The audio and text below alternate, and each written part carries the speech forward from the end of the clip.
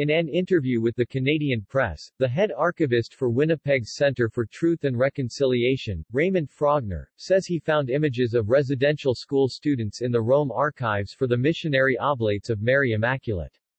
The oblates ran 48 residential schools across Canada. Frogner spent five days looking through the archives at the Oblate General House.